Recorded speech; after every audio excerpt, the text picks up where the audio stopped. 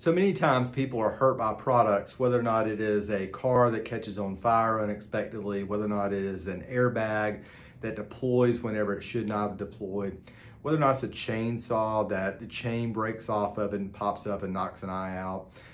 Whatever type of product it is, so many times people look at those kinds of injuries and just say, well, that's just chance. That's just the, the way life is, that things just break and fail in a way that they're not supposed to all the time. And, and they just sort of give the manufacturer, the seller of that product, a pass as a result of, of the injuries that they have.